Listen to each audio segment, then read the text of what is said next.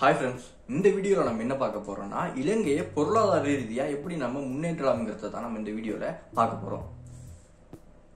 ஏன்னா கரண்ட் போயிட்டு ஹலோ செய்வி என்ன சொல்லுங்க? நம்ம நாட்டை பொருளாதார ரீதியா எப்படி முன்னேற்றலாம்னு ஒரு வீடியோ எடுத்துட்டு இருந்தேன். அதுக்கு இடையில கரண்ட் போயிட்டு. இப்ப என்ன செய்யணும்னு சொல்ல ஏழு மணிக்கு எழுத போறதான் கரண்ட் வருமா நீங்க எல்லாரும் சொல்றாங்க.